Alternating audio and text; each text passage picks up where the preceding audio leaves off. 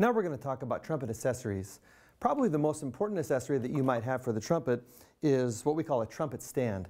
There's a couple of reasons you want a trumpet stand. The most important reason is really just safety. If you're going to have your horn out, you want this stand to be on a level surface so that your trumpet can sit out and be very stable. Some of the features of this stands, and the reason I particularly like this stand, is that the top comes off from the bottom and it all fits neatly inside and then the extra benefit of this stand is that this stand goes right inside your bell and stores in your case really neatly. So it's a clever design and a really sturdy stand that you're going to want. The other reason that I like a stand is that I tell my young students, take your trumpet out when you get home, put it on a stand, and you see it. So every time you come into your room or your space, you see your horn and you get after practicing.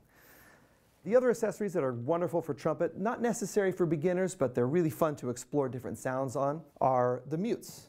So this is a cup mute. This is a straight mute. There are metal and there are other types of straight mutes, but they all produce similar sound. This, is, of course, is a classic plunger without a stick. We use it to create some really interesting growl sounds and great effects on the trumpet. And then this is the Harmon mute, which if you're familiar with the sound of Miles Davis, this is really the sound that's synonymous with his tone through the 60s, 70s, and beyond, Harmon mutes.